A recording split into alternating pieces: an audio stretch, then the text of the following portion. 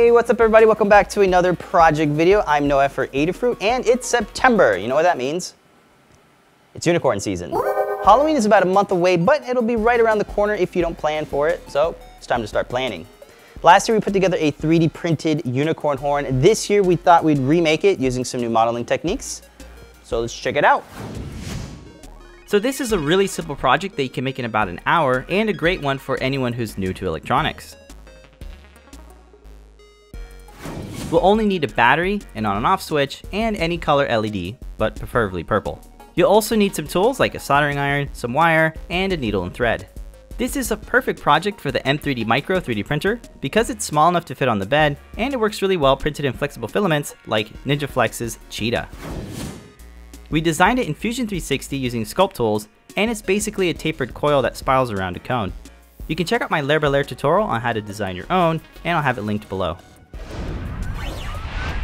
We printed the horn in regular glow-in-the-dark NinjaFlex without any support material at 40mm a second, which is kind of fast for TPU filament.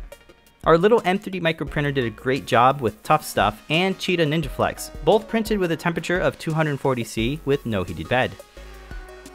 We also experimented with a dual extrusion version using two colors on our Sigma 3D printer from BCN 3D. Now to make it glow, let's start by preparing our wires. This silicone coated stranded wires is really great for this project because it's flexible and it doesn't break easily. We'll use some wire strippers to remove a bit of insulation, basically exposing the wires. I recommend tinning the wires with a bit of solder, which will make connecting them to the LED much easier. Next, I'll trim the legs of the LED and take note which one is positive and negative. Then I'll tin those up and solder the two wires. Now I can solder the positive wire from the LED to the SW pin on the JST breakout and the negative wire to the ground pin. I'll plug in the battery to the JST breakout and flip the switch to test the circuit. If everything is good, we'll have a nice glowing LED. This LED holder will keep it in the center of the unicorn horn and it just snap fits into this little hole. Now we can plan out where we want the unicorn horn to be. Here, I'm putting it in the lower center of my hoodie. I used an X-Acto blade to mark out where I want the LED to be, and then I just poked a hole through it. Then we can push the LED through the hole and pull it through the other end. Now we can fit it into our little LED holder. I'll put it back in, making it flush with the fabric.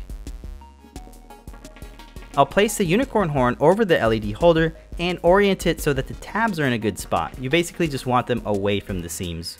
I used a needle and thread to create some tight loops around the tabs and made sure to tie a few knots on the inside of the hoodie.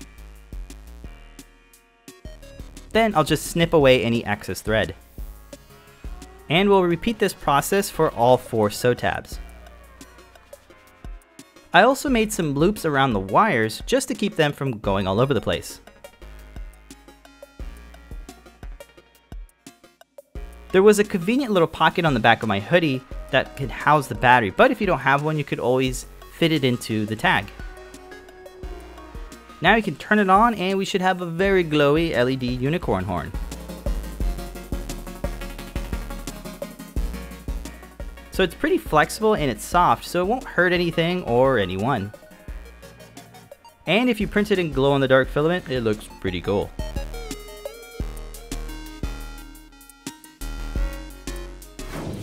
That's going to be it for this one, guys. I hope this inspires you to start planning for Halloween. If you want to check out this project and many other projects on the Adafruit Learning System, you can check out our YouTube playlist. It's a Halloween playlist, and we'll have it linked right up here in the card. We'll have some more projects plans, but until then, I'm to make like a unicorn and disappear.